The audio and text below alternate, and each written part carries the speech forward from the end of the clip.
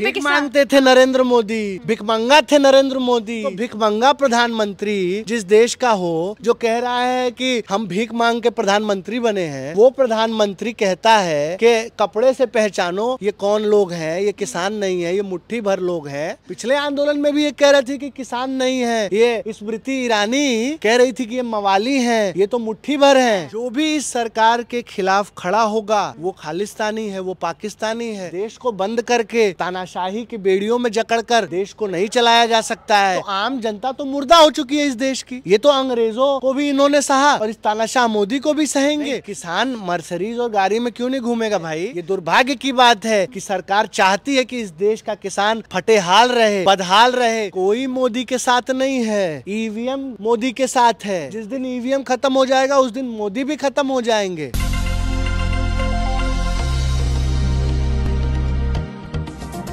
नमस्कार, मैं नूरजहां और आप देख रहे हैं जनित आवाज़। किसानों को लगभग 10 दिन हो चुके हैं उनके सड़क पर बैठे हुए और जो अभी तक है, सरकारों ने उनकी मांग जो है नहीं मांगी है, नहीं मानी है। चौथी बैठक के बाद भी किसानों ने इनकार कर दिया है कि हमें सभी फ़सलों पे एमएसपी चाहिए। उसके बाद इस चीज़ पर बातचीत करने के लिए हमारे साथ मौजूद हैं अतुल त्रिपाठी जी। सर, क्या कहेंगे, जिस तरीके से चौथी बैठक के बाद भी किसानों ने मना कर दिया है तो क्या किस तरीके से जो सरकार है, किस तरीके से सुनी जाए उनकी? नहीं बात हम क्यों करें? अब बात करने का क्या फ़ायदा है? आप मुझे बताइए। एक तरफ़ हमारे किसान शहीद हो रहे हैं और की तरह इस सरकार से बात करें? ये शोभा नहीं देता है। ये शोभा नहीं देता है। कि एक तरफ़ आप हमारे किसानों को शहीद करो हमारे ऊपर आँसू गैस के गोले बरसाओ और ये उम्मीद करो कि हम जो है वो अ, अ, सरकार से बात करें। भय के माहौल में हिंसा के माहौल में आतंक के माहौल में किसान कतई बात नहीं हिंसा जो है वो किसान भड़का रहे हैं सरकार नहीं भड़का रही है। हमने जो है रास्ता रोका है। हम तो कह रहे हैं हम दिल्ली आना चाहते हैं। क्यों डर रही है ये सरकार?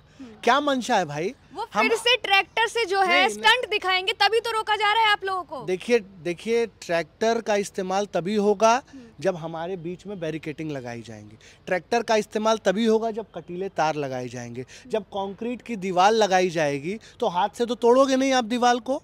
तो ये सरकार हमें मजबूर कर रही है। ट्रैक्टर आगे लाने के लिए हिंसात्मक होने के लिए उकसाया जा रहा है हम। जब आप ट्रैक्टर लेके आएँगे जब आप ट्रैक्टर लेके आएँगे तो आप लोगों को ऐसे ही रोका जाएगा कि ट्रैक्टर के सामने वो अगर बिना हथियार के आएँगे तो आप लोग तो उग्रवादी हो जाएँगे। नहीं, उग्रवादी क्यों हो जाएँगे? जो चंडीगढ़ में जो लोग बात कर रहे हैं, कृषि मंत्री से, वो उग्रवादी लोग हैं। पहले तो ये मंशा पहले आप खत्म करें सरकार, पहले तो हमें आतंकवादी समझकर बात करना बंद करे। हम आतंकवादी नहीं है। जब मनसा ही सरकार की ये है कि हम उपद्रवियों, खालिस्तानियों और आतंकियों से बात करनी चाह रहे हैं तो फिर हम हम, हमारे साथ तो वही सुलूक हो रहा है, आतंकियों जैसा ही सुलूक हो रहा है। तो इस भय के माहौल में कैसे बात हो सकता है भाई? पहले तो ये सरकार हमें किसान माने, और अभी इसने पिछले आंदोलन से सीख नहीं ली है मेरी बहन। पिछले आंदोलन में भी ये कह रही थी कि किसान नहीं है। ये स्मृति ईरानी कह रही थी कि ये मवाली हैं, ये तो मुट्ठी भर हैं। घुटने टिकवाए ना अब अब क्या चाह रही हो? अब भी किसान इनको घुटने टिकवाएगा और आप देखेंगी। जब जब लोकसभा के चुनाव नज़दीक आ जाते किसान जो है सड़कों पर आ जाते हैं अपनी मांगे मनवाने के लिए। नहीं क्यों नहीं किसान आएँगे भाई? सड़कों पर? किसान पाकिस्तान से आया है किसान इस देश का नागरिक नहीं है। आज इस देश में हर रोज जो है 28 किसान आत्महत्या कर रहा है। वो कौन लोग आत्महत्या कर रहे हैं? वो कौन सी सरकार उनके खिलाफ उनके लिए जिम्मेदार है? इसी देश की सरकार जिम्मेदार है ना? वो सवाल वीडियो नहीं देखी है पूछेंगे। क्या? आपने वो वीडियो नहीं देखी जिसमें एक महिला के साथ किसान किस तरीके से बातचीत कर रहे थे किस तरीके से उसमें चीज़ें कर रहे थे उनके साथ? नहीं वो महिला को आप और भी देखिए ना वीडियो किस किस तरीके से बड़े बुज़ुर्गों के साथ क्या इस देश के यही संस्कार है? मिडिल फिंगर आम जनता को तकलीफ़ हो रही है ना? उनकी वजह से पूरे रास्ते बंद हो चुके हैं तो इसी तरीके से चीज़ें नज़र आएँगी फिर। आम जनता को तो महँगाई से भी तकलीफ़ है। आम जनता का, का तो ज़मीन कब्जा हो रहा है उससे भी दिक्कत है। युवाओं को नौकरी नहीं मिल रहा है उससे भी दिक्कत है आम जनता को। तो आम जनता तो मुर्दा हो चुकी है इस देश की। ये तो अंग्रेज़ों को भी इन्होंने सहा और इस तानाशाह मोदी को भी सहेंगे। आगे कोई और तानाशाह पैदा हो जाएगा तो जनता उसको भी सहे- सहेगी। वो लोग अभी जनता हाँ। जनता तो मुर्दा हो चुकी है इस देश की। आज आप जिस देश में एक चौथाई जनता जो है वो भुखमरी से मर रही है, पाँच करोड़ महिलाएँ जो है अनीमिया, अनिमिया से पीड़ित हों, जिस देश में हर तीसरा बच्चा कुपोषित पैदा हो रहा है, जहाँ पर जो है स्वास्थ्य व्यवस्था खत्म हो चुकी है, लगातार रुपया गिर रहा है, देश की अर्थव्यवस्था ध्वस्त हो चुकी है, उस देश में कौन आवाज़ उठा रहा है? उस देश में किसान ही तो आवाज़ उठा रहा है। एक्टिविस्टों के ऊपर गोली चलवा दोगे उनको मुकदमा लगा के बंद कर दोगे तो कौन आवाज़ उठाएगा मेरी किसान आवाज़ उठा रहे हैं बाकी जो दूसरी जनता है दूसरी तरफ़ की जनता देखी जाए वो तो मोदी के साथ है। दिल में राज करते हैं मोदी। कोई मोदी के साथ नहीं है। ईवीएम मोदी के साथ है। इसलिए ये मन की बात जो है वो जनता के ऊपर थोप रहे हैं। जिस दिन ईवीएम खत्म हो जाएगा उस दिन मोदी भी खत्म हो जाएँगे। आप इस बात को समझिए और कोई जनता इनसे खुश नहीं है। आज महँगाई से जनता मर रही है करा रही है। ये गोदी मीडिया की भाषा मत बोलिए कि सब चंगा सी है अच्छे दिन आ गए कोई अच्छे दिन नहीं आए तो देश आपकी में। नज़र में अच्छे दिन कब आएँगे फिर? अच्छे दिन तब आएँगे जब इस देश के किसान को एमएसपी मिलेगा जब इस देश के नौजवान को नौकरी मिलेगा जब आप जैसी महिलाएँ सुरक्षित होंगी जब आप जैसी महिलाओं का जो है वो संरक्षण मिलेगा तब इस देश में जो है खुशहाली आएगी। देश को बंद करके तानाशाही की बेड़ियों में जकड़कर देश को नहीं चलाया जा सकता है। और किसान बिल्कुल अग्रसर है। दिल्ली आएगा अपनी मांगों को मनवाएगा। अभी तक दिल्ली नहीं आए हैं लेकिन जो दिल्ली की जनता है उनको तकलीफ़ होना पहले से ही स्टार्ट हो चुकी है क्योंकि उनकी वजह से जो है बैरिगेटिंग किस तरीके से सड़कों पर कर दी गई है वो दिख रहा है उनकी तस्वीरें नज़र आ रही हैं। और जो किसान मर रहा है वो, वो तकलीफ़ नहीं है।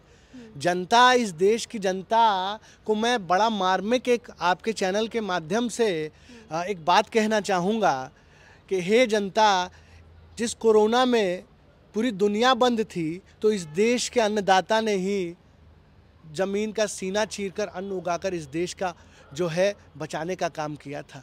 घरों में रोटी पहुँचाने का काम इस देश का किसानों ने किया था। और जो इसेंशियल सर्विसेज़ चालू थी कोविड में वो सिर्फ़ किसानों की चालू थी बाकी सारा इस देश का। तो इस इस जो कम से कम रोटी का तो बदला मत निकालो यार। और फिर वही अन्नदाता जब उग्रवादी होते हैं तो जैसे पहले किसान आंदोलन में दिखा था लाल किले पे अपना झंडा लगा देते हैं। नहीं उग्रवादी कहाँ है किसान? आप किस मानसिकता से ग्रसित हो? पत्थरबाजी कर रहे हैं वो कहाँ लोग? पत्थरबाजी हो रही है? कौन पत्थरबाजी कर रहा है? वीडियो वायरल है आपने वीडियो नहीं देखी है क्या? क्यों नहीं ये सरकार उनको पकड़ के कार्रवाई कर रही है? पत्थरबाज तो किसान हो ही नहीं सकता है। वो किसान नहीं है। जो लाल किले पर हुआ वो किसानों ने नहीं किया। वो इन्हीं के दीप सिद्धू जैसे साफ़ दिख रहा था वो किसानों ने ही किया है। इसी दंगे कौन भड़काता है? दंगे कौन भड़काता है? दंगे किसान भड़का रहा है। किस सरकारें दंगे कराती हैं। और इस इस सरकार का तो चेहरा सांप्रदायिक है मुसलमान विरोधी है ये आप आप आप, आप ये कहा वीडियो नहीं देखी है क्या? मोदी जी की वीडियो नहीं देखी है पूरी दुनिया में। ये बात फैल चुकी है कि नरेंद्र मोदी की सरकार मुसलमान विरोधी है सांप्रदायिक है कम्युनल है वीडियो में कहा था कि वो मुस्लिम विरोधी नहीं है। जो भी इस सरकार के खिलाफ खड़ा होगा वो खालिस्तानी है वो पाकिस्तानी है शाहीन बाग के लोग खड़े हुए तो वो देशद्रोही हो गए।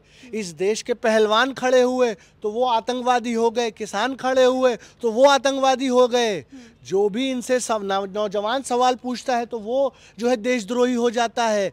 आज मैं पूछ रहा हूँ, जो साठ लाख बच्चे जिनका पेपर लीक हो गया आज तो वो लखनऊ में और इलाहाबाद में प्रदर्शन कर रहे हैं। बनारस हिंदू यूनिवर्सिटी का छात्र देशद्रोही है, इलाहाबाद यूनिवर्सिटी का छात्र देशद्रोही है, अपनी रोज़गार का मांग करने वाला छात्र देशद्रोही है। आप बताओ ये जो योगी आदित्यनाथ जो कहते हैं कि बहुत जो है कड़े नेता हैं कैसे पेपर लीक हो जा रहा है? ये पेपर लीक क्यों हो रहा है? जब ये सरकार इस देश में हिंदू खतरे में नहीं है इस देश के युवाओं की जवानी खतरे में है इस देश के युवाओं का भविष्य रोज़गार खतरे में है। जी। अगर किसानों की बात करें तो सीधे तौर पर जो भाजपा सरकार है वो ये कह रही है कि जो असली किसान है वो खेतों में है जो ये वाले किसान जो सड़कों पर बैठे हुए हैं मर्सिडीज और बड़ी बड़ी गाड़ियों में आ रहे हैं ये किसान है ही नहीं। नहीं, किसान मर्सरीज और गाड़ी में क्यों नहीं घूमेगा भाई? तुम्हारे लिए मर्सरीज जो है, वो तुम्हारे लग्जरी और रसूख का होगा। हमारे लिए हम तो साहब, ये मर्सरीज से भी हम तो जो है ओपलेट होते हैं। हमारे लिए ये जो जिस, ये जो बड़े बड़े लोग मर्सरीज को चाट चाट के चमकाते हैं ना, उस मर्सरीज में जो है किसान अपनी फ़सल लेकर के जाता है। तो हम हम मेटेरियलिस्टिक लोग नहीं हैं। हम अपनी मेहनत का कमाते ही तो मर्सरीज में हाँ। घूमते हैं हाँ। ठीक है ये दुर्भाग्य की बात है कि सरकार चाहती है कि इस देश का किसान फटे हाल रहे बदहाल रहे मरते हाल रहे तलवार लेके आ रहे हैं तलवार ना लेके आए ट्रैक्टर ना लेके आए हाँ। सीधे आए ना शांतिपूर्वक आए नरेंद्र मोदी ही जो है हाँ। वो तीन करोड़ का सूट पहन सकते हैं ढाई लाख की घड़ी तो पहन सकते हैं प्रधानमंत्री हैं वो तो पहनेंगे ही तो ना। मरता रहे तो क्योंकि ये तो चाहते हैं कि किसान मरता रहे किसान का जो पिक्चर ओवरऑल बनाया गया है कि किसान जो है बदहाल है फटे हाल है कुर्ते फटे हुए हैं घर में खाने को जो है रोटी नहीं है मर रहे हैं यही नरेंद्र मोदी चाहते हैं। इसीलिए उनको जलन हो रही है किसानों का मर्सरीज देखकर किसानों का एसी देखकर किसानों का गाड़ी देखकर। नरेंद्र मोदी बाहर विदेशों में घूम रहे हैं यहाँ पे मांगते थे नरेंद्र मोदी भिकमंगा थे नरेंद्र मोदी हाँ? और नरेंद्र मोदी को ऐसा बोल रहे हैं जो प्रधानमंत्री हैं हमारे देश के उनको ऐसे बोल रहे हैं प्रधानमंत्री खुद कहे हैं कि हमने 35 साल भीख मांगा है उन्हीं के बयान है। तो भिकमंगा प्रधानमंत्री जिस देश का हो जो कह रहा है कि हम भीख मांग के प्रधानमंत्री बने हैं वो प्रधानमंत्री कहता है कि कपड़े से पहचानो ये कौन लोग हैं ये किसान नहीं है ये मुट्ठी भर लोग हैं। तो ये शर्म और दुर्भाग्य की बात है। हमने ही नरेंद्र मोदी को सत्ता के सर्वोच्च शिखर पर बैठाया था। आप ही लोगों मा- को तकलीफ़ हो रही है। नहीं तो बिल्कुल तकलीफ़ होगी। जब हमारी बात नहीं सुनी जाएगी जब हमारी मांगों को नहीं माना जाएगा तो बिल्कुल हमें तकलीफ़ होगी। जब हमारे बच्चे शहीद होंगे हमारे किसान मारे जाएँगे आज उन घरों में मातम है साहब जिस घर का जवान बेटा मर गया आज उनकी बहनों से जा करके पूछिए कि क्या सूरत हाल है। तो आप समझिए हम पीड़ित हैं हमें उकसाया न जाए और अगर हमसे उकसाया जाएगा हमको तो हम भी टकराने से पीछे नहीं हटेंगे। हम यही कहेंगे अंत में इस दमनकारी सरकार से कि आओ देखें इस भारत में कौन वीर बड़ा बलिदानी है, किसके धमनी में खून, किसके धमनी में पानी है। अगर हमारी मांगों को नहीं माना गया तो आने वाले समय में आंदोलन और उग्र होगा, तीव्र होगा और देशव्यापी होगा। धन्यवाद। जय हिंद, जय भारत। तो सीधे तौर पर देखा जा सकता है उन्होंने बोल दिया है कि अगर आने वाले समय में इनकी मांग जो है नहीं मानी जाती है तो और जोश में ये लोग सरकार के सामने आएँगे और अपनी मांगे इस बार मनवा के रहेंगे क्योंकि सीधे तौर पर जो है किसानों ने ये कह दिया है कि हम मर जाएँगे लेकिन इस बार जो है अपना हक लेके जाएँगे। उसके बाद जो पूरी बातचीत पे इस, इस पे आपकी क्या राय है हमें कमेंट बॉक्स में ज़रूर बताएगा। धन्यवाद।